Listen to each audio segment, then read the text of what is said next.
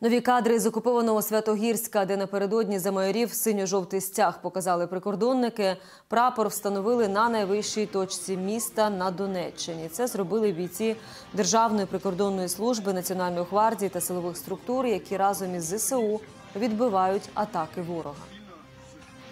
Піднімемо наш прапор знову і знову.